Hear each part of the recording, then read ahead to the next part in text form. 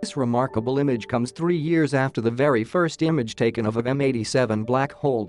The two images look similar, despite the differences between the two black holes. At 4 million times the mass of the Sun, Sagittarius A is a thousand times less massive than M87.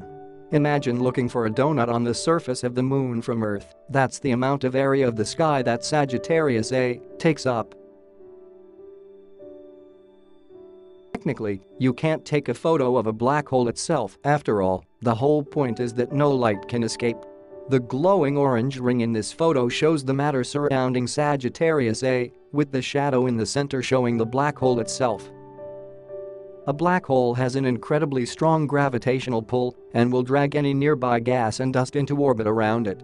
As this material swirls inwards at nearly the speed of light, friction heats it up and it emits energy in the form of radio waves.